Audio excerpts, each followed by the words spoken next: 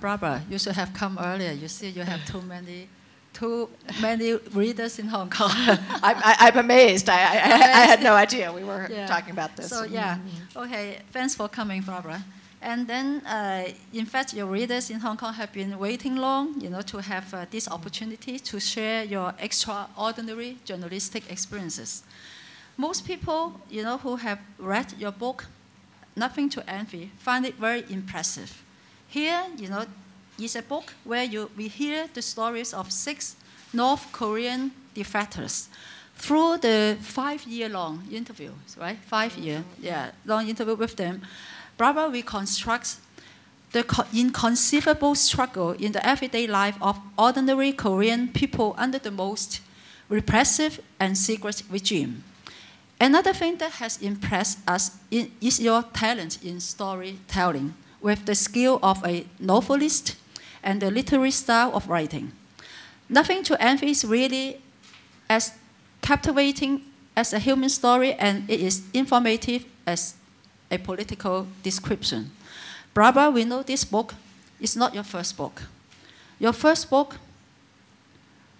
Logavina, Street Life and Death in a Sarajevo Neighborhood, which also chronicles the daily life of people on one Sarajevo street over the course of the war in Bosnia. Barbara has reported in different parts of the world for several American newspapers, yeah, and has received many awards, which include the American Academy of Diplomacy's Arthur Ross Award for Distinguished Reporting and, and Analysis on Foreign Affairs, and the finalist for the new uh, National Book Award of course, there are many awards I can't mention you know, here this evening. And she was correspondent for the Philadelphia Inquirer in Eastern Europe from 1993 to 1997, and then stationed in the Middle East until 2001. And then in 2001, Barbara moved to the Los Angeles Times and became the newspaper's first bureau chief in Korea.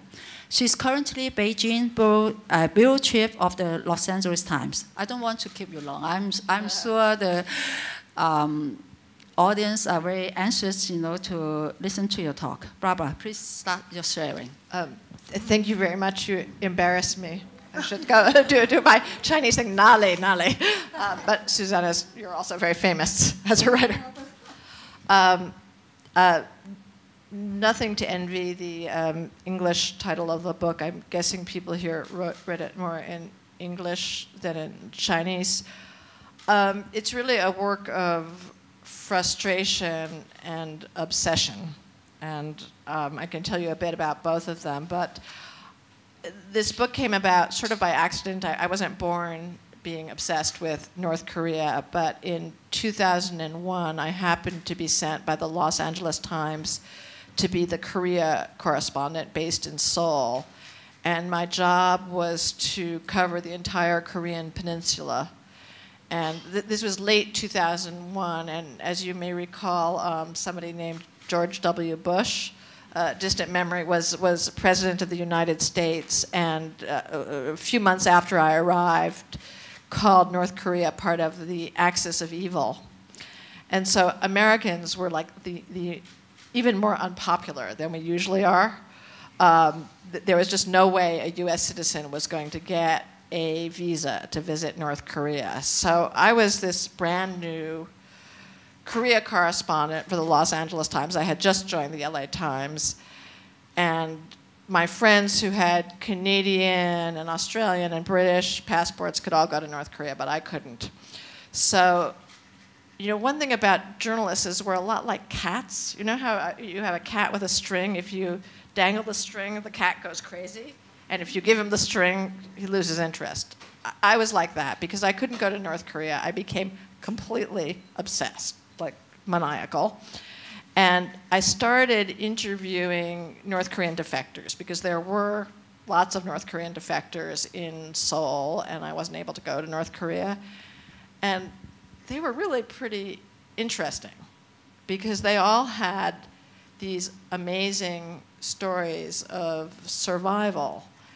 And I, I, got this idea that I wanted to write a book that told what it was like to be a North Korean.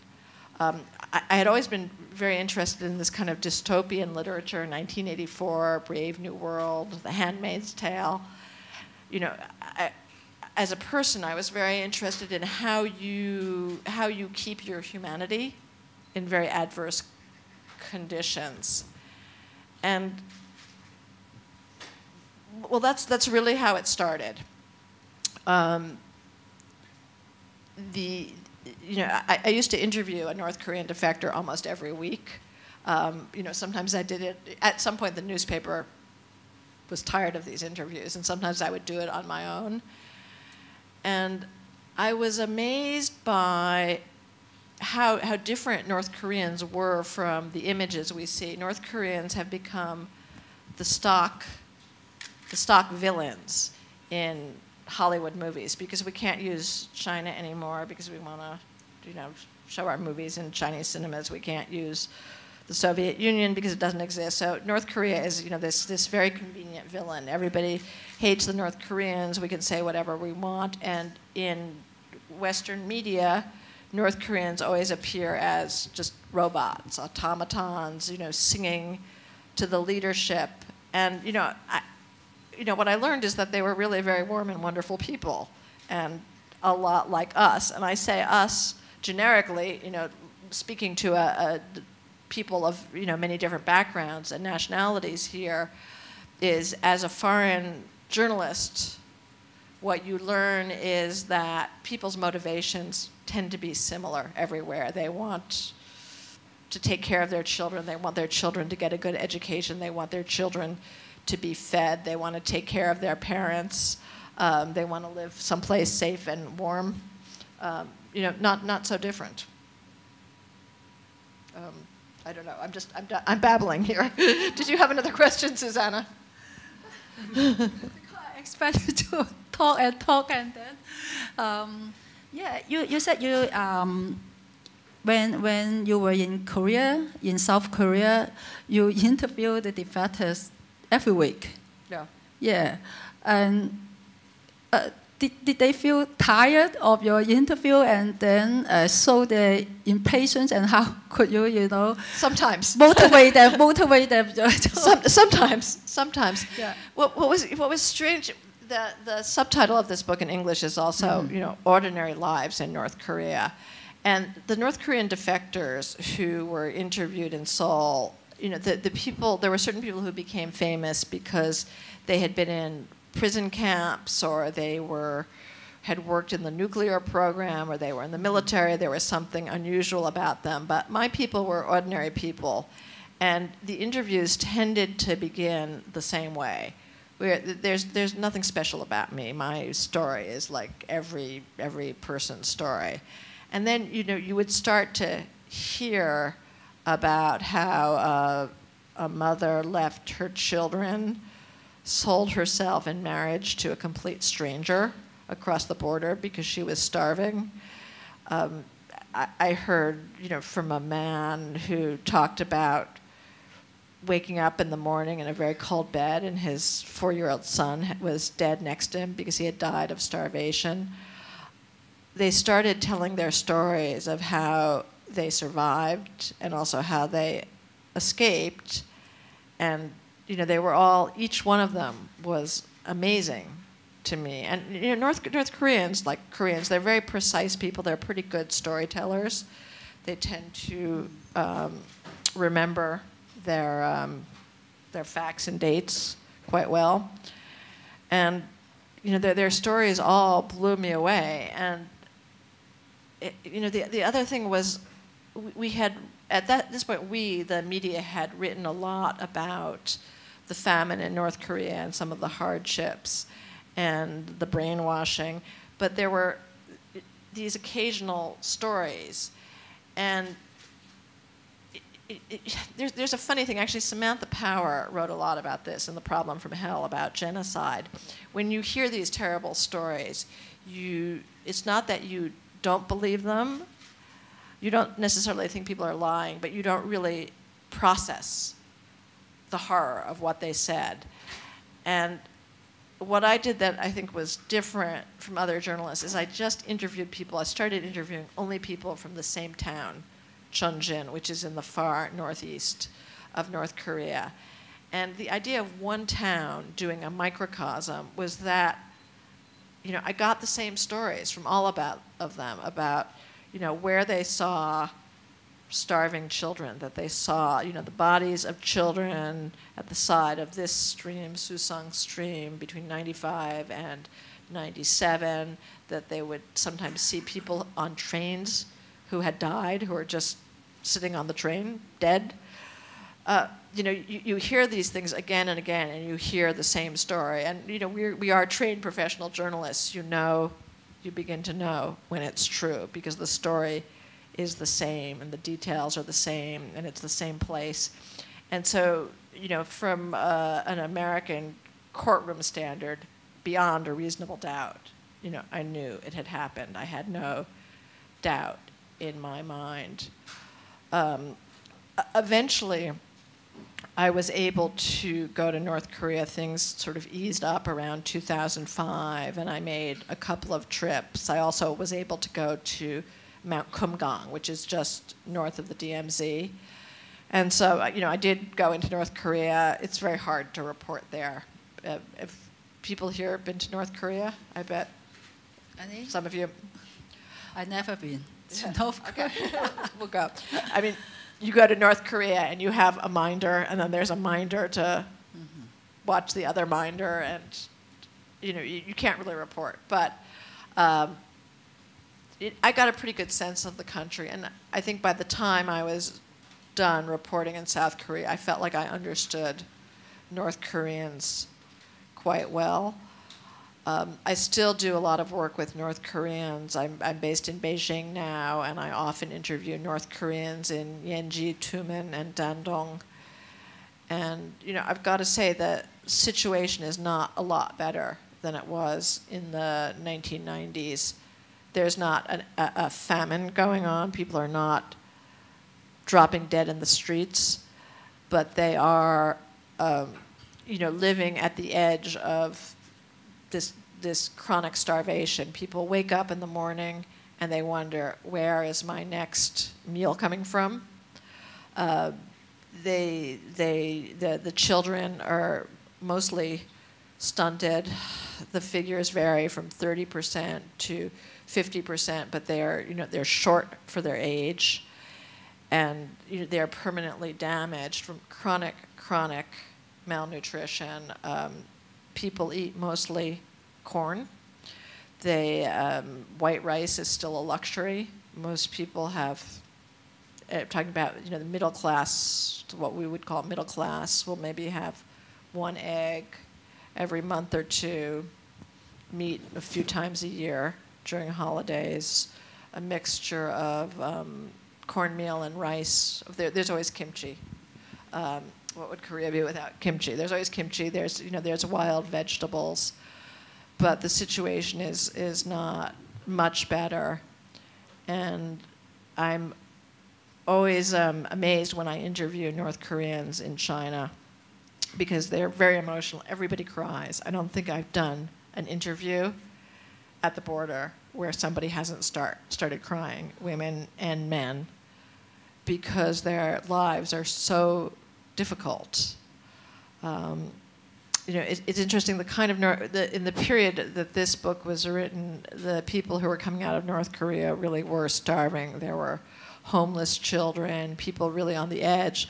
Most of the North Koreans I meet now are um, much higher in the social system. A lot of them are party members, usually older women.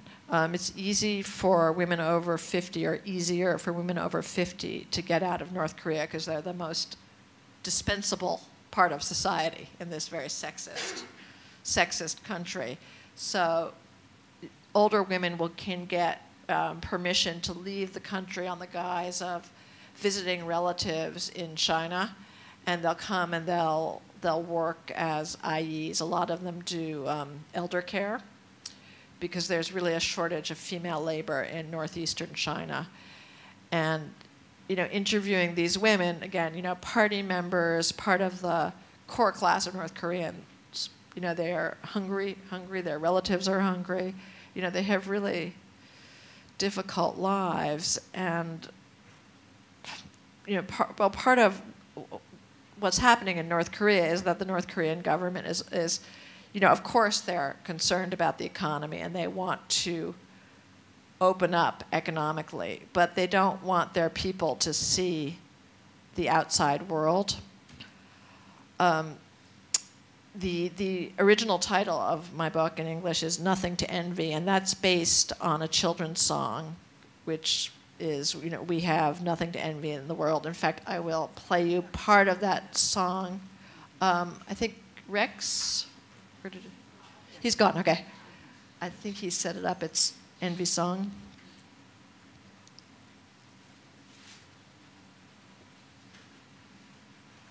Um, yeah, you could do full screen with sound.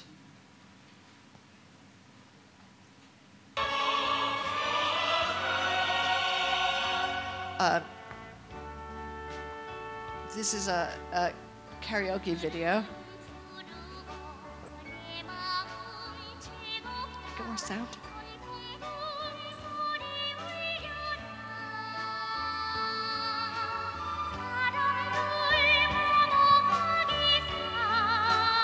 They're basically saying, you know, under under these blue skies, you know, we live under the care of our Abaji, our Father, our Father King of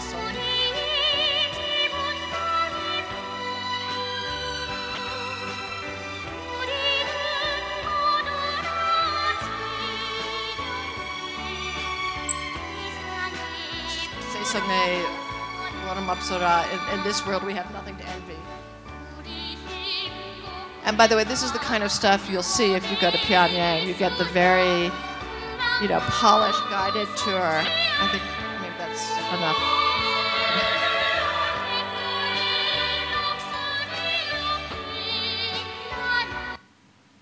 Um, yeah. We can do. Um, uh, just wait a minute, uh, then we could do North Korean market. Uh, North Korean market should have no sound because there's a voice over there. Anyway, this is this this song. We have nothing to envy. Um, you know, every every school child sings it. It's an old song. The one, the version I have has um, Kim Il Sung. Then it was you know Kim Jong Il. I was at a restaurant in in Yanji in January, and they were singing it to Kim Jong Un um, you know, it doesn't change. But this is, you know, this is the underlying lie of North Korea that we have nothing to envy, and this is really their dilemma is um, globalization. You know, how do they open up without, um, you know, their people catching on to what they're missing in the rest of the world? Um, you know, th- this is this is why they have no internet. North Korea is the only country that deliberately keeps out the internet entirely a few, you know, a few elite students will experiment with it um, because, you know, they don't want people to see the outside. I don't think they're necessarily just worried about spreading revolution, but foreign lifestyles. That's that's the killer, and um, you know what's been going on in North Korea, as long as I've been covering it, is they have this problem with DVDs coming in across the, the Chinese border, all those cheap pirated Chinese DVDs. Well, now they just have them on memory sticks. Um, you know, people start to see foreign lifestyles. That's what they call them. And you know, in North Korea, you actually get in less trouble bringing in pornography than you do a South Korean soap opera, because what they don't want people seeing is you know that South Korean kitchen with the, the fruit bowl and the refrigerator with the sausage and the beer and the rice cooker and the you know the Samsung Android and you know they just they, that's that's that's you know the stuff that's taboo you know pornography is pornography. Um, and that's you know that that's horrible to the North Korean re- regime. It's very corrosive. And that even worse than seeing rich South Koreans is seeing rich Chinese. You know, the, the North Koreans at some point figured out, okay, the Americans are rich, Hong Kong people are rich, the Europeans are rich, okay, the South Koreans are richer, but they always thought that they were better than the Chinese. That's, that's their, that's their, you know, core rival, really, is China, especially if you're near the border areas because you know during the Great Leap Forward, a lot of Korean Chinese, Chinese citizens of Korean roots came into North Korea because there was more food in North Korea. And they always heard about the starving Chinese and how horrible it is. And, you know, Koreans are very um, racist. And, you know, they think that, you know, Korean blood is everything. And anyway, they're very anti-Chinese, more anti-Chinese than American, but that's, that's another story. And people go, you know, across the border into Yanji and Tumen, which are not really like such happening places anyway. And they, you know, they get to, I, have seen this, I've talked to North Koreans in Yanji, and they arrive in Yanji, and it's like they've come to Paris. You know, they talk about the, the lights and the food and the color, you know, and, and the fashion, you know, I mean, it's, um, you know, this is really corrosive to the North Korean regime. Um, and this, this drives people crazy when I say it in Beijing, but you know, I really think the North Koreans are most afraid of China, much more so than the United States. Um, the United States is, we're far away, we're very busy in the Middle East, we have all our own stuff.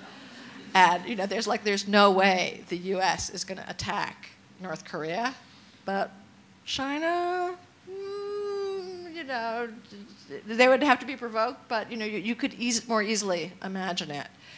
And the, the foreign influences that come into North Korea all come from China. All that stuff, all that stuff. Bibles, you know, everything comes across that border, they really can't control it, and that has been the biggest problem for North Korea the last 10 years. It doesn't come from South Korea because the DMZ is still fairly impregnable, but across the border from China. Um, I'm going to lead into this next um, video, which is, um, again, no sound on it because it has this annoying voiceover. This is a market in Chongjin. This video is, gosh, you know, I think eight, nine years old. I don't think it's changed very much the cities at the North Korean border, uh, at the Chinese border, all sell, you know, almost entirely um, Chinese products. This market, Sunam Market, is in Chongjin, the city I wrote about, and it's one of the the biggest markets in North Korea, maybe the biggest. Um, I, have shown this video quite a bit, and it's funny. People who live in Asia find it eh, it looks just like you know any market in a poorish city in China. People who cover North Korea are amazed by it because all this stuff has come in across the border. Um, well, except for this is a, um, of course humanitarian aid.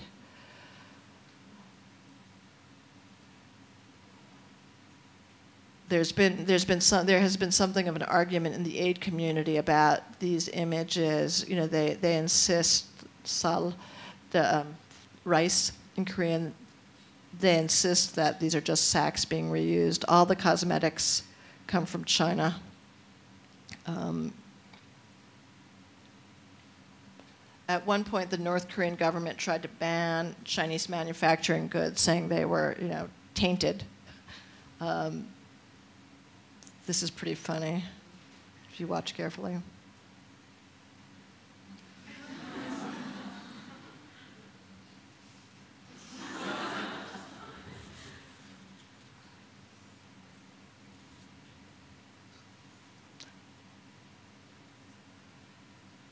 Yeah, it, it, it, it, doesn't seem that that child was actually burned at the stake. But you, you see a lot of these children, they, they call them wandering swallows.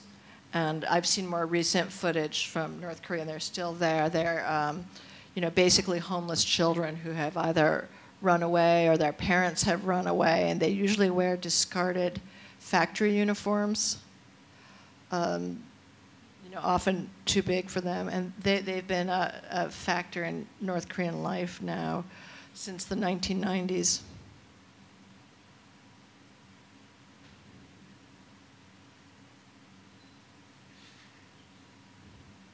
Clothes, clothes are um, entirely Chinese made. You know, there, there's really very little manufacturing. This is a, a restaurant of sorts.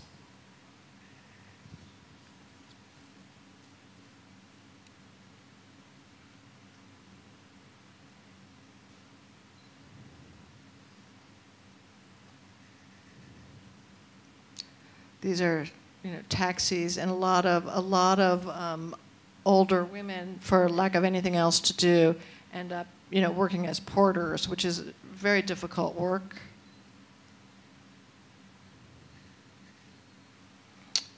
Th- this is completely illegal. you know, bicycle repair is supposed to be controlled by the state.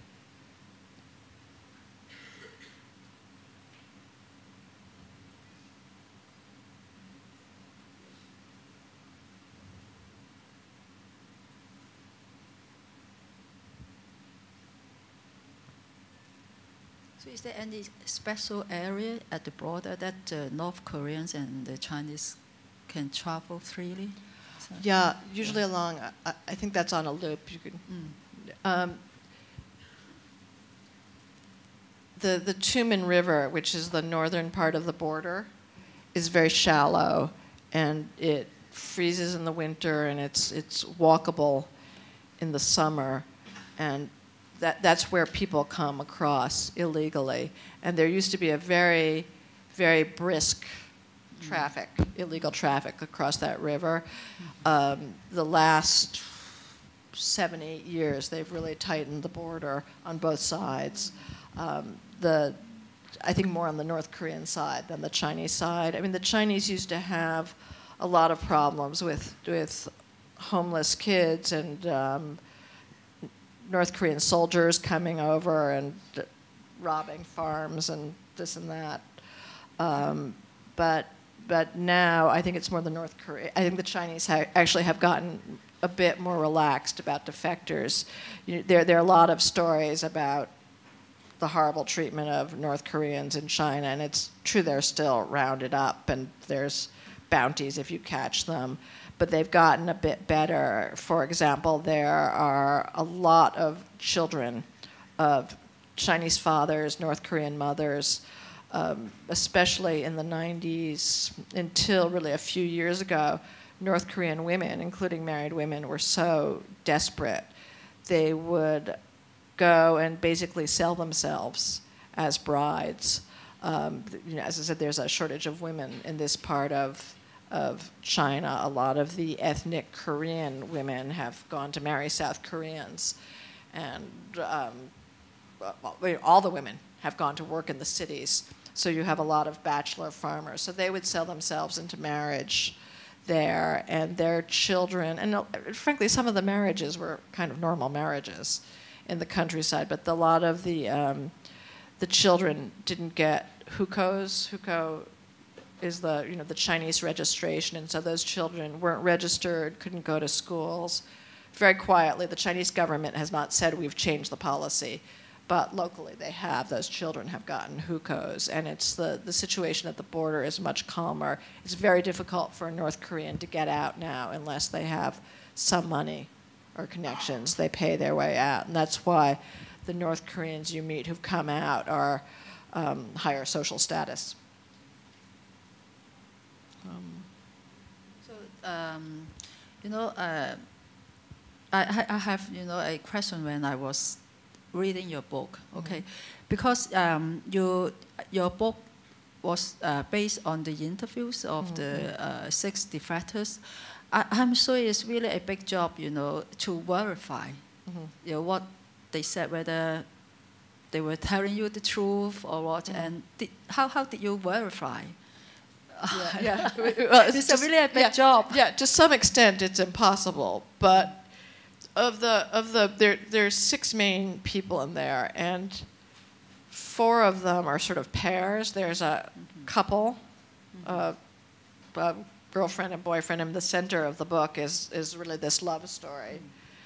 And it was very interesting because, um, you know, if you haven't read the book, I don't want to tell you exactly what happened, but there, there, the, one of the main characters is this young woman who is a kindergarten teacher.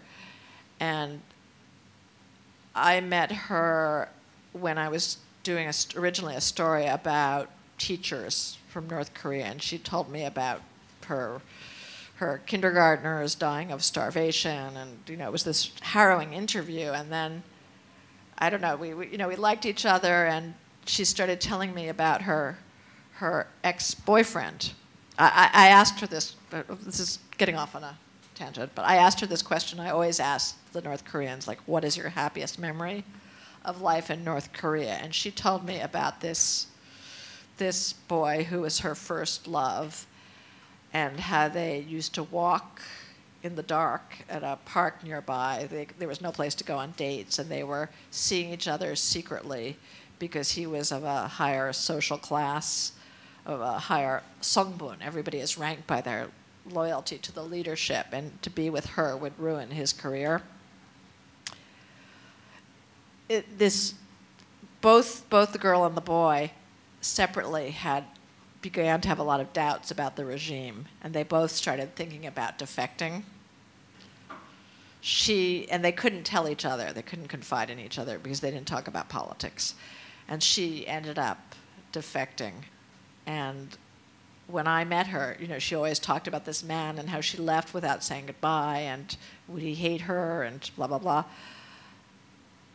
He does come out eventually. You, actually, you, you know that pretty early on in the book. Um, and what was amazing to me, I met him about two years after her, and the stories he told, you know, meshed perfectly with hers. And you know, normally if you meet a couple, you say like, "Oh, how did you meet?" You know, who picked up who? you know, when did you sleep together? Blah, blah. The, the stories are like, well, they, they didn't. This was Chase, but the stories are really different. But their stories were, you know, really perfect. Um, there was a, a, there's a mother and daughter, and their stories meshed very nicely too. There are two individuals, but I knew, you know, some of the people they knew in Seoul. So, but, but also doing the interviews. Um, you know, I, I interviewed these people again and again over time, and the stories were consistent. And you know, I interviewed so many more than these six, but part of the way I I picked them was that I trusted them, that their stories meshed. And interestingly, the woman who's the factory worker in this, she's the mother and the mother and daughter. Part of the book was excerpted in the New Yorker, and they have this like, you know, this notorious fact checking. And when they excerpted that part of the book, they hired a Korean speaking fact checker who spent like two days on the phone cross examining her. And there was like, there's a scene where she, um, you know, in, in 1995, you referred to frying a frog, but then you said in 1993 they ran out of cooking oil. How did you fry the frog? And she said, you know, in soy sauce. And, you know, they, they you know, I, I don't know why she didn't hang up on them but she fortunately was a very nice person who was patient, semi-retired, and also had a really good memory. And you know, it's it's you know, I, I can't say that everything is 100%, but I tried, and I, I knocked people out immediately if their stories were shaky. I mean, you know, whenever you're interviewing anybody, I mean, but you know, especially refugees and defectors, there's some you know exaggeration factor and, you know, I mean, one of the things that I do in interviews, I mean, I've been doing this since Bosnia, because you'd get all sorts of stories about necklaces made of babies' eyeballs and, you know, all sorts of crap. You know, you, you say to people, you know, don't exaggerate. You know, tell me exactly as you saw it. I mean, it's sort of saying, like, you know, don't lie, but, you know, it's like, don't try to give me a better story than it was. And, you know, you, you keep on saying to them, but did you see this? you know, did this happen to you, or was it your, you know, your cousin's neighbor's friend? You know, you try. You know, we try our best. And also, um, you know, the, the way you wrote your book, because I mean, uh, some some of my friends, when, when we discussed about your book, know, some of my friends said, oh, your book, um, the, the way you, you wrote this book like a novel. Mm-hmm. Yeah, so um, because it's so, every, everything in such details. Mhm. Yeah, and then, mm, and how, how could, you know, the, the interviewees, you know, remember so many things in details and, and, and you, how, how, could, how, how could they do that? But you, you, you have to you have to go with what they remember. But Yeah. I mean, the way I reported this is I, I'm quite cinematic. I think in my approach is when I interviewed them, I remembered scenes, mm-hmm. and I would go back. You know, the, if there was a scene. I liked like there's a scene where the couple where the boy first sees the girl in a movie theater, which he remembers better than she does because she didn't see him. But you know, I would, I would, I'd go back to the scene and, you know, I'd say, do you remember, you know, this, you know, do you remember what you were wearing? Do you remember what the weather was? And, you know, some things they remember, some things they don't. Um, that particular scene, the couple, he sees her for the first time at a movie. Um, I, um, I, I got a very vivid description from him um, I also went to see the movie that they saw. Um, that it was an old North Korean propaganda, propaganda film called Birth of a Nation, not D.W. Griffith, but they, um, the South Koreans have a library of North Korean film, and so I went and watched the movie. I also got photographs of the movie theater where they saw it, and you know I went with what what he remembered. You know, there's obviously things that they don't remember, but some of the the people in the book, also the way I picked them, is they were very good storytellers, and it was their descriptions. There's, um, I mean, one thing I found over the years of interviewing people is that some people are very vivid storytellers, and it doesn't, you know, their level of education in a way doesn't matter. In fact, intellectuals are usually the worst. Um, uh, she would. Miran in the book. I mean, she she was a school teacher. She was educated, but she wasn't, you know, a high intellectual. She wasn't a big reader, but she had very interesting ways of describing things. She described at one point, at one point she goes to visit her boyfriend at university in Pyongyang, and she goes and surprises him because there's no telephones, and there's not. When the day she goes, there's not there's no electricity on the campus. There's just you know one small light, and she sees him walking towards her, and she can see the contours of his silhouette changing, and she can tell he's smiling, even though she can't see his face. I mean that that was all her description. Um, you know, I would have never thought of that, but that's the way she described it. So you know, th- it's it's kind of credit due to them, Yeah, to the to the interviewees. You know, I would never be that creative. yeah, hmm yeah. So, um, is it? Um, I, I find you know from your first book to the second book, uh, we found the the style of your writing is very. I mean, like a literary, Mhm. literary journalism. Yeah. So, could you could you share with us, you know, how um, how could you reconstruct and you know everything just like a novel? Um, Is it your your your I, I, I your think personal style of writing? I think well, I do. I read a lot. Yeah. First of all, but um, and um, I think you know I think readers like to read stories. You know, when I look yeah. at what I read in the newspaper, sometimes I'll pick up something on a subject that I'm not really at all interested in, but it's done in a narrative fashion. I find myself reading to the end. And you know, it's a, as a foreign correspondent, it's a, it's a struggle to get readers, especially American readers, who are you know Americans are Yeah. quite insular, um, to like get North reader. Koreans. yeah, like, like North North Koreans, you know, different way. But um, you know, this is you're in Hong Kong. This is a very international city. But uh, you know, Americans, you know, Yeah. there's the good and the bad. But to get Americans to care about people, you know, so far away in a country, you know, few of them have ever been to. Um, they may not care about. They may not even think about. You know, you have to tell a Mm, story stories, to carry them along. And the same thing was true with with Bosnia.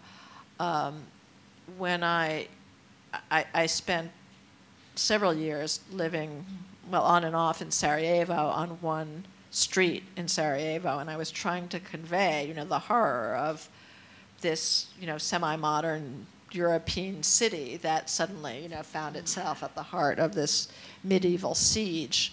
And it was again, you know, Bosnians. I mean, they were so far away. All the jokes were, you know, oh, Clinton needs to, you know, to export vowels to Bosnia because they have no vowels in their names. Um, you you know, we can't pronounce them. It's remote, and it, you know, the idea is again to get your uh, American readers or whatever reader to empathize, to think, you know, I could be that, you know, mother with two kids on the verge of starvation, you know, with the mortar shells falling, and you know, to get them to empathize and to get them out out of their comfort zone, but also, you know, feeling like they are those people. So, um, you know, it's it's you know, you have to use what you can to, Yes, to yeah. people are busy they you know if they're going to read Yeah, yeah, I'm sure. Yeah, um, people like reading stories instead Yeah. of you know, making very grand analysis for them. Yeah. So, uh, you know, but you know, uh, for those who have read your book, you know, can't deny this book is really well, beautifully written. A very, you know, like um, you, you have, I mean, you, you can't stop reading, you know. But um, but in your book, you know, some uh, some people may doubt. It seems that it's a kind of out of a historical context. I, I, I, I, I, I'm not sure whether uh, it, it is correct to say that. You know, uh, you, you try to, you know, play down the history. Mhm. I, I don't know, can, can you explain about that? you, know? Um, you, you focus, you concentrate on their daily life.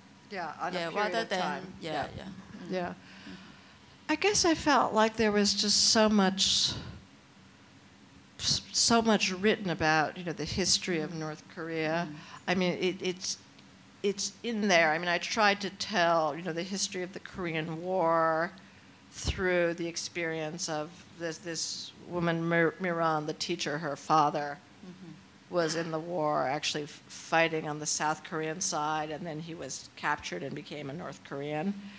And so I tried to tell the war through there. I don't go that much into, Into older, details, yeah. older Korean history, um, in part because I don't know it that well. But um, you know, I, w- I really tried to confine myself to um, World War II and afterwards um, you know, I just didn't feel like I could do everything. There was it was when I was when I was originally selling the book and I had a book proposal.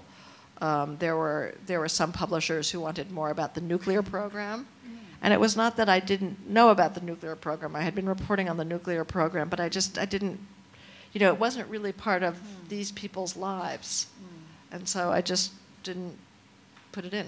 Yeah. And uh, yeah, some people may, you know, I mean, to me as well, you know, what, how, how, how, I mean, how, how can, you know, North Korean lock up the country, you know, and, and how could they manage to do that? You know, just how, how, um, you know, how, how, how, how, how did the country, you know, go, go I mean, uh, do you know what I mean? You know, How did it become th- this hermit kingdom? yes, yes. How could they manage to lock up the country and why? Because I also try to um, um, make sense of this, you know, in the historical context. the, the, the hermit kingdom. I mean, I think that has to do with the, you know, the, the we have nothing to envy business is that in order for this regime to survive, it has mm. to survive in isolation. Mm. People have to not see the outside world. And it's a, you know, it's a smallish place. It's a peninsula or part of a mm-hmm. peninsula. Mm-hmm. And you know that that's their whole effort is to keep out the outside world. It's really not easy in mm-hmm. this this day and age. It's as I said, all about globalization. Mm. And you know, North Korea, you know, this is where you feel, you know, you see the situation that Kim Jong Un is in, like Kim Jong Il. I mean, I don't think he wants his people to be starving, um, but you know, he he feels the the internet would be, you know, absolute suicide. I mean, they still can't make telephone calls. You still can't make a telephone call from North Korea to South Korea. You can't make a telephone call from North Korea to China. Uh, you know, it, it's it's the, the degree of separation between these people is amazing. There's no regular mail service. Um, and the country can't develop economically in this condition. The um, you know, you can't do medical research, you can't do agricultural research without the internet, and you know they're they're struggling. And I mean, I think that's I think that's what makes it such a curiosity for the rest of us that you, you have this like biosphere.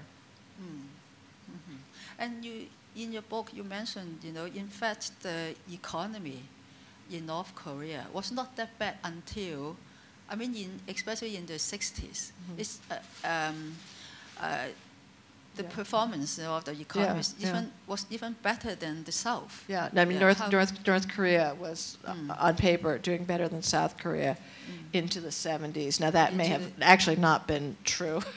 You No? know, it may have been on paper, but, um, you know, that was the perception. Certainly in the 60s, they were, and they were doing much better than China. That's why people were escaping from China to, to go into North Korea. Oh, really? Yeah. Mm, yeah.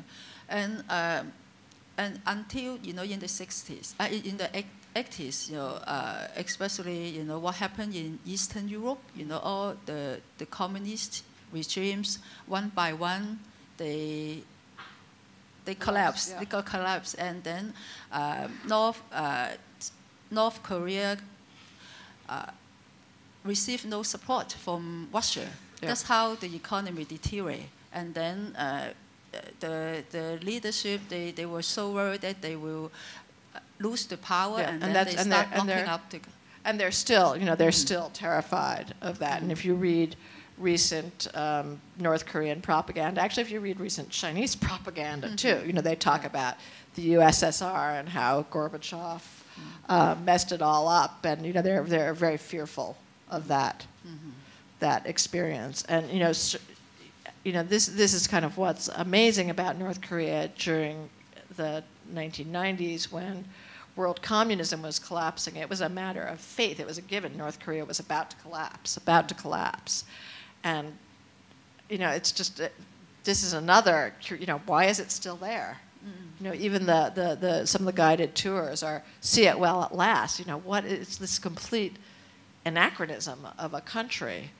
And you know, I think, well, that's why that's why people go to see the socialist kitsch and, you know, to just marvel that it's there. It's a kind of living history. Um, you know, in, in Beijing, I know quite a few young Chinese who've gone. In fact, one of our news assistants went. She was, I guess, in her late 20s, and she took, you know, photographs of the propaganda and also the brown toilet paper, and she brought it, um, you know, home. And her parents were just laughing and saying, "Ha ha, you know, you missed, you missed this in China." But um, you know, people go to see this this piece of history unchanged, this kind of time capsule from the 70s. So I, yeah, you should go. I'm, I'm, selling you, I'm selling you a trip. But I never put to this country. I hope I go, uh, you know, uh, I will have a chance, you know, Yeah. to visit uh, North Korea. In fact, in um, in in since I mean, you know, uh, before 1997, there's no um, North Korean consulate in Hong Kong. But after 1997, and then Mhm, they mhm. there's uh, a consulate in North Yeah. Korea, and then they encourage us, you know, to organize tours or join Yeah. the tours. Well, they, I mean, they are, you know, tourism is a, you know, a, a legitimate form of getting hard currency, and they are trying to bring in more tourists. Yeah. So um, you you how, how many times you have visited? I've uh, been um, three times to times. Pyongyang, and you know maybe seven times to Mount Kumgang, which is this area just above the DMZ. That's when I was based in South Korea. That area was somewhat open. I've been to Kaesong a few times. Um, I have not gone since my book came so out. There's did, uh, did you go there as a journalist or just tourist? Um, I went sort of as a quasi journalist. it's, it's hard to explain, but the first time I went, they, they were having a tourist push in mm-hmm. 2005, and they needed to fill their quota. And I went to the North Korean embassy in Beijing, and you know, the other thing about the U.S. press is we have these rules. We're not supposed to lie about who we are, but we can, you know, sort of start with the truth and work backwards. So, you know, I told them that I was, you know, worked for the LA Times and um, that I was the Seoul bureau chief. And they said, "Oh, you're not a reporter. You're bureau chief." Well, you know, this is like, yeah, I'm, I'm, I, I'm they couldn't chief of- tell the difference. yeah, I'm like chief of you know my two cats. you know, I mean it's but anyway. So I went in as you know as Los Angeles Times bureau chief, and I sent a letter saying that the Los Angeles Times was a um, you know part of Tribune Company, a broad-based communications firm. But um, um, other two times I went, you know, th- there are people who go who sneak in as English teachers, and that's sort of our generic. "Oh, I'm an English teacher, but we're not allowed to do that. Um, you know, there are times they allow in journalists. It's much easier if you're not uh, an American. So uh, uh, yeah, and um, you know why why I until now I, I still have no motivation to visit North Korea because I, I know that you know there's so so many restrictions. I mean, if you visit, no matter as tourist or as a journalist, maybe it's uh, uh, it, it, it's, it's not too easy, you know, Yeah. to travel there as a journalist and. Uh, I, I, I, I mean, it, it's, um, it, it is, uh, I, I, I- I'm interested, you know, to know when you visit North Korea, uh, were, were you accompanied by Oh, oh yeah, uh, someone from foreign office? You Always, always. But you know, there are things you there are things you can see. Like, As I used to go to this area at Mount Kumgang frequently, and you know, you, you after a while you begin to notice things. Like you notice during the daytime you can see the village over the hill, and then at night it completely disappears. You know, nothing because there's no electricity. And um, I, I went on several trips w- with a lot of South Korean tourists, and the older South Koreans, especially the ones who had, eh, you know, farming backgrounds, you know, could see how how blighted the crops were, that they weren't rotated, that they were still using oxen or, or human labor to pull the plows. And you know, with time, you begin to um, see things. I mean, you know, you also, when you go to North Korea, you'll end up having conversations with quote unquote barbarian handlers, um, these these guides who are allowed to talk to foreigners. And you know they won't say much to you, but they ask you very interesting questions um, about um, you know the United States. How big is your house? You know what appliances do you have? Um, I have a couple of friends who are Russian who went in. You know they got a lot of questions about was it better before or after? Um, where is California? Never heard of it. Um, I, I don't know. It's it's. I- think it's worth going. I mean, it's you know, I, since I've been many times, I notice different things. But uh, I think it's a fascinating place. Um, I will say I've gotten more. You know, I do regularly talk to people at the North Korean border, and you learn a lot more there. Um, I've um, yeah, I was there earlier this year, and you know, I've got to say that the the people I talked to, the situation is very similar to the way it was in the 90s. Not people dropping dead on the streets, but uh, as, again, as I said, the edge of starvation. Um, since Kim Jong Un came in, there have been actually a few improvements. They've, they've been more liberal with these kind of markets. They've kind of allowed markets to continue. But um, there, there's no more political freedom, not at all, than there was before. And I mean, the economy is still dismal. Um, one woman told me that her son came home after seven years in the army and he was basically starving. They, they let him out because they thought he was going to die because he was so malnourished. Um, if you don't want to, you actually pay not to go to work. The jobs, the official jobs, pay a dollar or two per month, and you can't live on that. So you have to figure out how not to go to your official job, which you know often means paying not to go, and then you can you know go out into the woods and look for firewood or herbs or try to make something that you can sell at the market to try to support yourself. Um, but you know, uh, people people still you know they, they never know where their next meal is coming from, and that that has not changed. Mm-hmm. So, in your opinion, is there uh, any possibility for North Korea to open up a bit in the next few years? Because you know, even Cuba, mm. you know, and and they also lost support, you know, from USSR, you know, after it collapsed, and then they lost, you know, foreign support, mm. and they start, you know, opening it up a bit. You know, mm. Cuba now uh, they have uh, launched reforms, not only economic reforms but also political reforms. Do you think, in your opinion, any any possibility? To, um, to no, no, not really. Mm. I mean, th they have. Th there have been some economic reforms, and they're talking about, you know, a couple of things. I mean, they, they've loosened the markets. Um, there's some talk about agricultural reforms, but in terms of political reform, if anything, it's gone in the opposite direction. They've gotten much stricter about people crossing the border, about DVDs, about radios and television. You know, I, I think it's going the wrong way. yeah. So um, I think now maybe it's time, you yeah. know, to open the floor for mm. questions.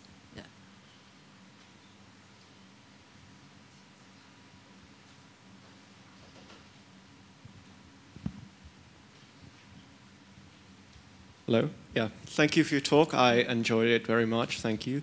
Uh, I was here also for the talk on China uh, by Dr. Frank Dikötter, which makes a very interesting comparison. And um, there's a joke that says that if North Korea is 1984, then South Korea must be the Brave New World, mm -hmm. and China must be 1984 crossover the Brave New World. I like that. I hadn't heard it. It's good. and uh, my question for you is that. Um, because there is always the nice looking people they trying to show you in Pyongyang that people doing well there. Won't the other North Korean citizens get jealous of those who can play the um, rich and good looking citizen? And what's the general social mobility here? Do, do the normal people would get a chance to get into the party or get to play the very nice, rich looking citizens in Pyongyang? Do the social mobility exist? No, the, the social mobility is actually very low, and um, the you know um, ordinary people are not allowed to go to Pyongyang. Um, they certainly can't move to Pyongyang. They might go on a, a school trip. Um, you know, interestingly, North Korean television is showing more images of Pyongyang, of the supermarkets, and uh, Kim Jong Un has made this big emphasis on youth culture. So there's like you know a water park and a dolphinarium and an amusement park, and they are showing more of that on TV, sort of as something to show that the country is moving forward. But it's it's really two different worlds. There's like Pyongyang and everywhere else. Normal people cannot be playing the uh, you know nice-looking citizen that is showing to the tourist. No, I mean there's um, you know good-looking young women.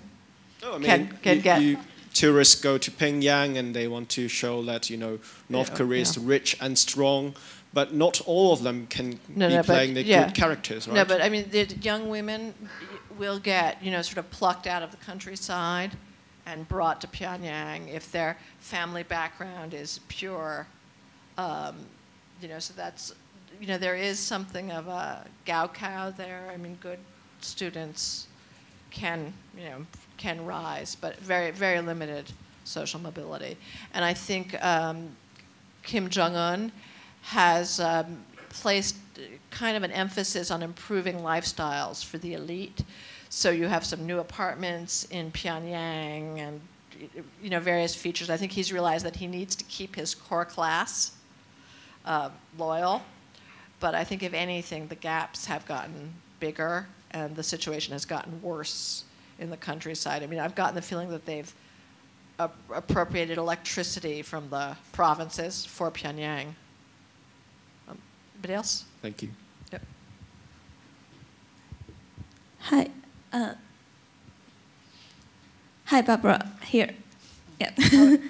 uh, I have a question about your book. I read your book last year, and I was very impressed uh, impressed by the details and stories. Mm -hmm. So my first question is because I also try to write some like literary journalism uh, mm-hmm. stories. Mm -hmm. So I'm very cu I'm curious about how you select these characters, like how you select whose stories you you're gonna uh, write about, mm -hmm. and how you fact check their you know mm-hmm. stories. Because I remember there is a, a woman who said uh, she traveled like she uh, went across the border to China and then she was caught by the policeman and she was sent back to, to mm. Korea and put into jail and then she, she went back to China again and I was surprised how she can make it. So how you fact check these stories, how you, yeah. Well, you know, you. To, to some extent it's impossible, but you know, her story about many people have escaped multiple times and come back and forth. That's not unusual.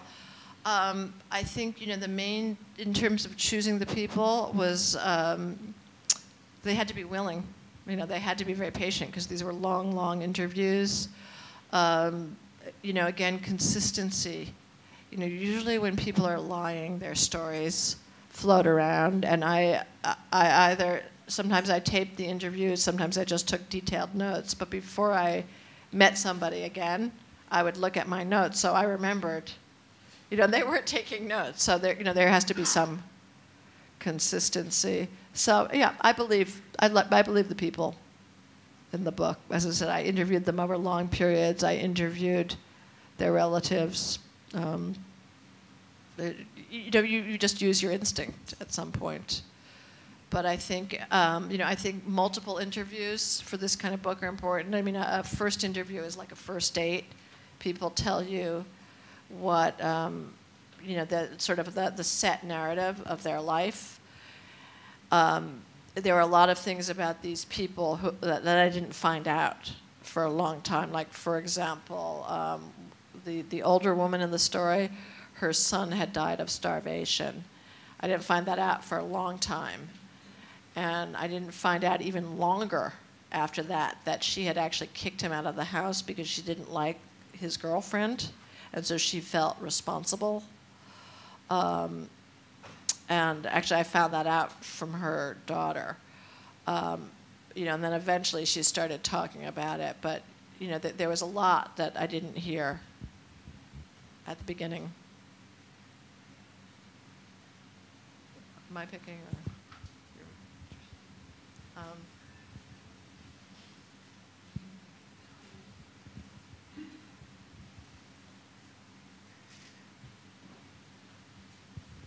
Hi, uh, my question is, uh, hi, Bara.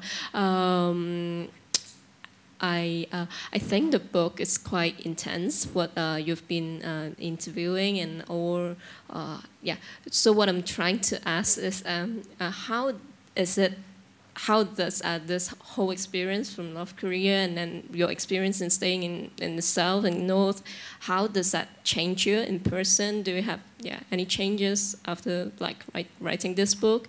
And what's the key message that you would like to pass to your readers and audience? Yeah. Um, I think the you know the, the, the title of the book, Nothing to Envy, it, it does put you know some perspective on one's own life. You know, it could be worse, it could be harder, and I guess that's, you know, part of the message. I mean, I also wanted, I wanted readers to see North Koreans as real people again, and not as robots. And it, this was the period the, that I was running this book. You know, again, you know, George Bush was president, and there was a chance of the U.S going to war with North Korea, and I, I, I you know, I just I felt like people should see who these people are. And does that change you, the whole experience? Uh, yeah, in, yeah, I mean, uh, yeah. I mean, I, I, I've been a, a foreign correspondent for 20 years, and, you, you know, I mean, I've seen, so I think I was already changed. Um, you know, I, I mean, I think one of the lessons also, you know, as I said earlier, is that there are people like us, is that the motivations of these people as individuals are very, you know, are very much the same across cultures. Um, and I think that was one of the things that I appreciated. Thank you. I think in the green shirt.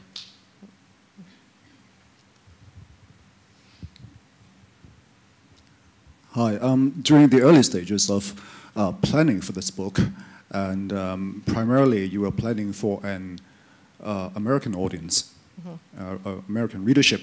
How does that point affect um, the various stages of actually um, writing this book out uh, in terms of your standpoint, your narrative perspective, your interview strategies, and so forth? Well, suppose uh, it had not been for an American readership, but uh, more um, uh, European or, or Yeah. Asian or, or international perspective, how would it be um, different?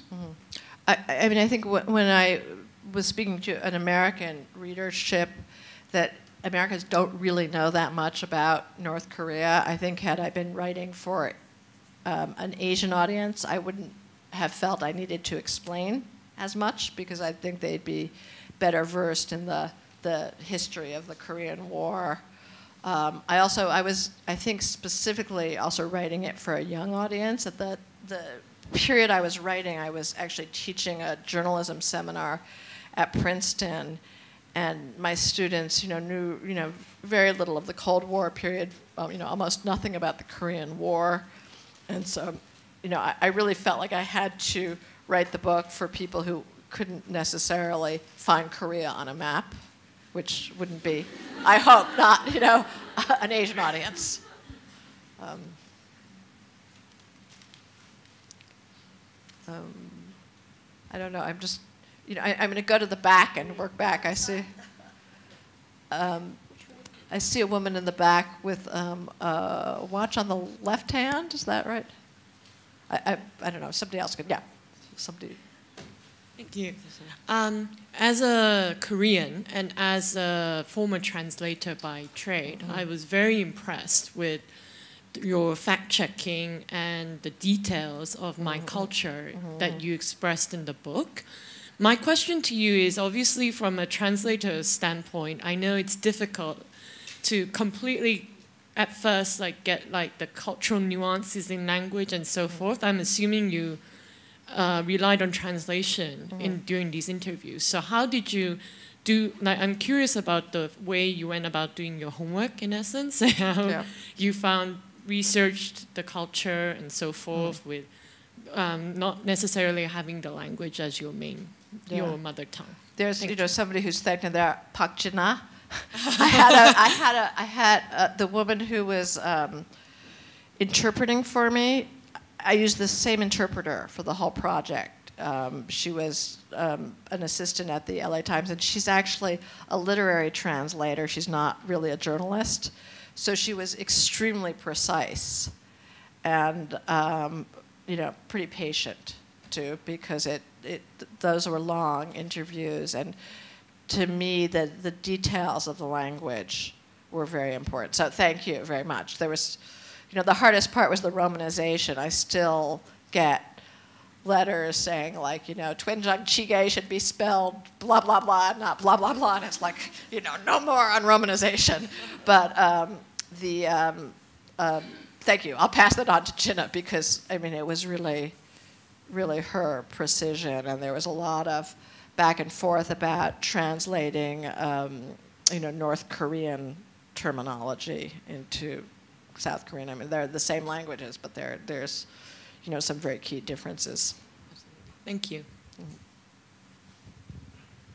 um, uh, somebody else want to do this because I, yeah Yeah, you want to, you have the microphone, why don't you just pick people? Well, I'll, I'll go to, I'll, I'll go to eight, eight o'clock, then I left my son alone in a hotel room, so. Oh. Hi, Barbara. Thanks for sharing today. And my question is after reading this book, I actually uh, saw a talk by a woman who ex escaped from North Korea, mm. which is on TED. Some of you may have seen it. Mm. And she actually talked about like how her life was hard, like wandering in China and finally made it to Korea.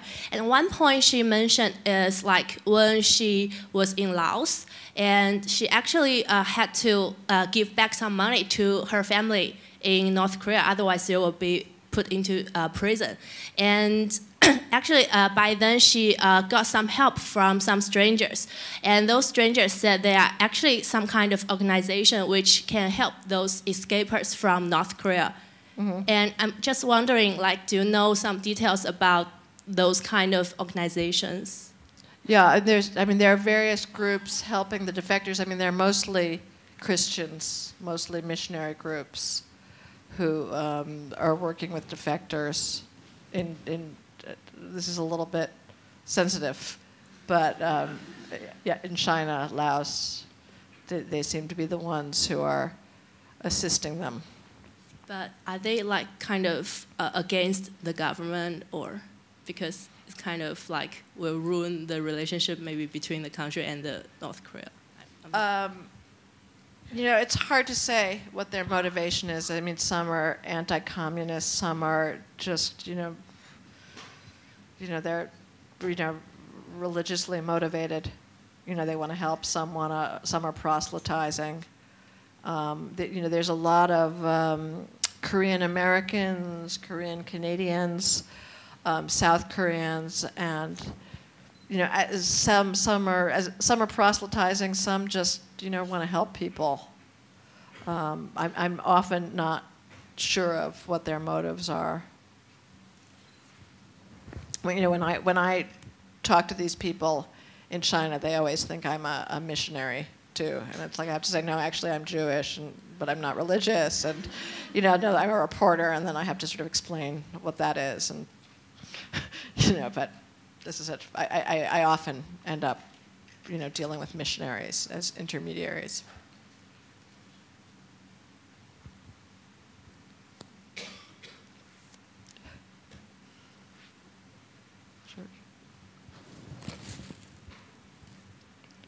Is it me? All right. Uh, actually, it was the woman behind you, but that's okay. You, you right. have, you have I'll go possession, first. and possession is nine tenths of the law. So. I grabbed the mic. So. Yeah, yeah, yeah. yeah. Um, uh, you seem to be saying that um, the kind of ideological indoctrination is still working pretty well. Um, but I just wonder, in your interviews, not just that six people, uh, do you sense any kind of forms of resistance from the people, any organizing uh, things happening? Uh, because in your book, we Yeah, got a glimpse yeah. of like people's ordinary life. I But don't- were there any Yeah, I don't think I don't think there's any organized resistance, but I think there's, you know, a lot more awareness um, that um, the the government is to blame for the problems. There's a guy who I, I- quoted in one of the editions of the book. He, he's, he's not a character in there. He's a, he's a coal miner I met some years ago at the border, and he said to me, "You know, we North Koreans, we're not stupid. You know, we know who's to blame for our problems, but we're also smart enough to know that we don't talk about it. You know, and I, you know, I know, you know, I know what my neighbor thinks, and he knows what I think, but that's as far as it goes. And my, that's my sense of it. I think a lot of people know. I think actually Kim Jong Il was wildly unpopular. Um, you know, people still, even the defectors, still speak highly of Kim Il Sung. Um, Kim Kim Jong Un, I don't know. He's still new, but I think a lot of people, a, a lot more people know, and they just don't. I don't think they're organized at all, and I don't think they're any more organized than they ever were. But I think many more are aware, and I have this. I have this theory that after North Korea collapses, people, everybody will say, "Well, I knew all along." And, and actually, I'm thinking along. she was sorry. She she was Can behind I you. follow too, up, so, or- yeah. I, you know what? There's a lot of people with All right. questions, so. Um, Thank you very much, Barbara. I really enjoyed reading your books. And I was also uh, excited to know that you were based in Beijing. And so my question is about your life in Beijing and in China. Do you, uh, what's your perspective on the future of China since you've been writing stories about North Korea and East Europe and Eastern Europe? And do you think China today is in a stage of 1984 or the brave new world? And do you intend to write a book about China? And what, if, if you do intend to write a book about China, what's the topic like? Thank, thank you. Um,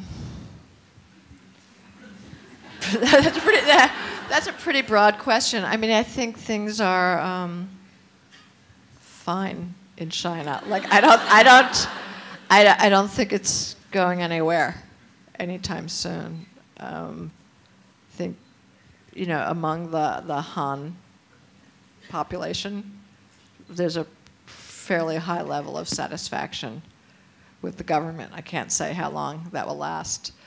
Um, I, I, I'm not sure. I might, I might, if I do another book, if I did a book, China book, it would be about minorities and things around the edges of China because there's a lot going on, but I, I I haven't decided yet. Any other questions about North Korea, maybe? Uh, would you like another but question I- from the back? Yeah, le- yeah. Let's this back This people, gentleman? or you know, Okay. I, I'm a back row person, so. Um, Given the starvation in North Korea, how the food is distributed and rationalized in, to the most uh, North Koreans? Second question, uh, I heard that lots of uh, casinos and the luxury hotels are built in the uh, you know, tourist spots in North Korea. How the ordinary North Korea react to such out of touch, you know, infrastructures and showcase, uh, you know, buildings? Thanks. Um, there's still in um, North Korea a public distribution system, and the um, my understanding is that the, the humanitarian food assistance still goes through the government, and that's something that um, you know some of the aid organizations have had problems with. More more recently, uh, the food aid is directed towards um, children in need, institutions, orphanages, but still mostly handled by the government. Um, and you know, again, that's been a, there, there's been you know for years there's been years of struggle between the North Korean government and the aid agencies over monitoring and making sure that goes to the most needy people. Um, the casinos, you know, I, I, I, I, my guess is that most North Koreans don't know about them. That they're not, um, they're not open to North Koreans. They're only open to foreigners, mostly, mostly Chinese. The the casino in um, Rason, which is the very very far northeast, you know, was really designed for for Chinese coming across the border. I'm not sure if it's open right now. There's a, a casino in the basement of uh, the Yanggakdo in in Pyongyang. I've been in that casino. I don't know. Nobody was there when I was there. I was I was with the, the New York Philharmonic in 2008, and some of us went down to gamble. Um, you know, I, I just think it's one of those. They're, they're wild schemes to try to get hard currency, and I don't think it works all that well.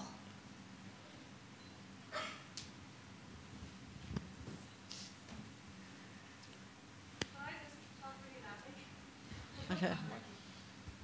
Hi, I'm wondering uh, how you feel about popular culture, especially um, the West, uh, from the West, romanticizing or poking fun at North Korea in recent years, especially with now the James Franco movie coming out.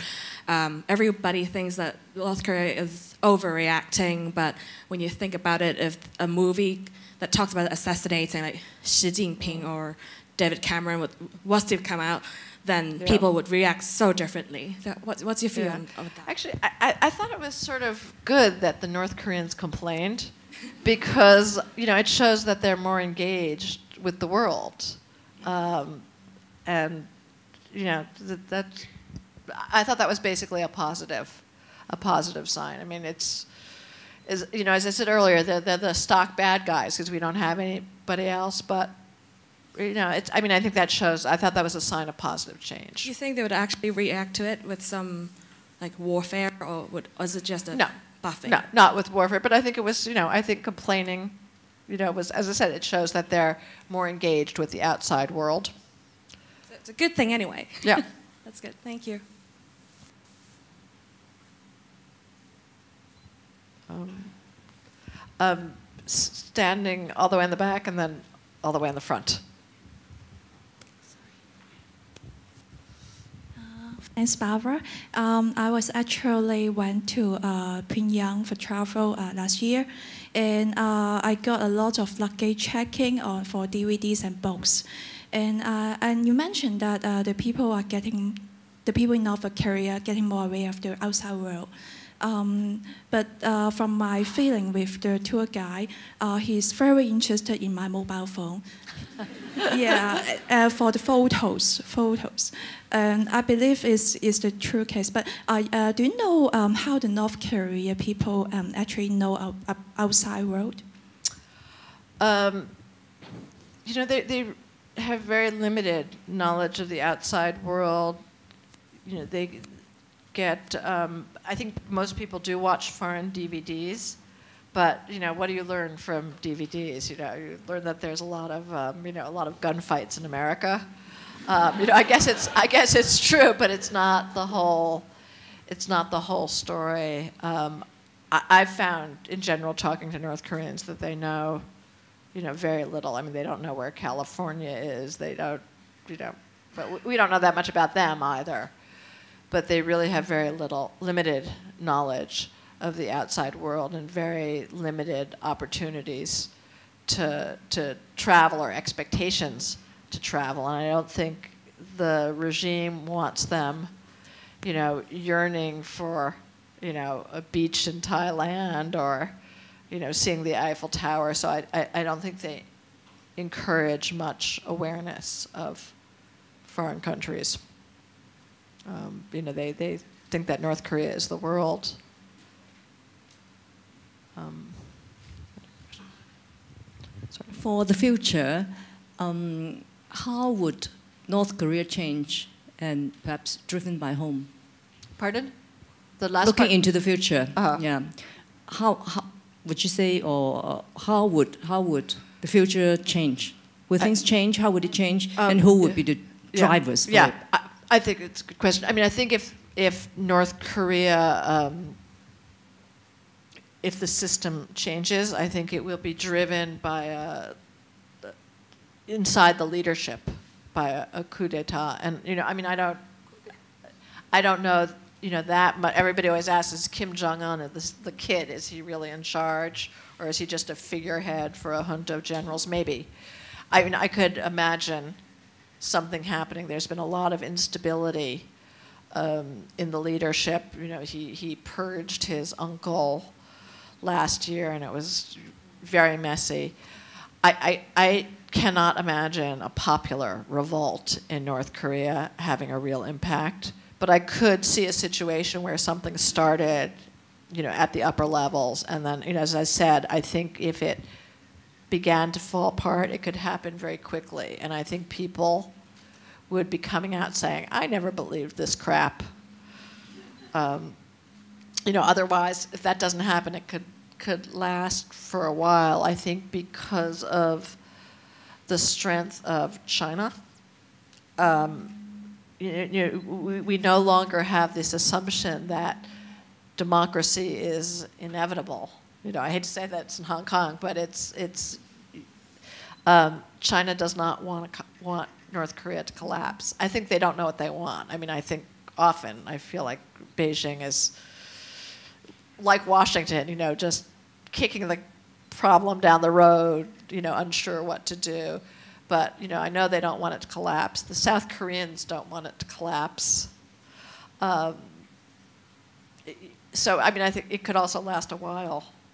And you know, I, I, I don't see political change happening there at all, maybe economic change. I mean, I, again, I think they're trying to figure out how to open up their economy without um, opening their political s- system. And, you know, to that, I think they're looking to Beijing, you know, seeing if, you know, if Xi Jinping can do it, you know, maybe we can. I don't, I don't know. Sorry, the front row. Maybe the final question.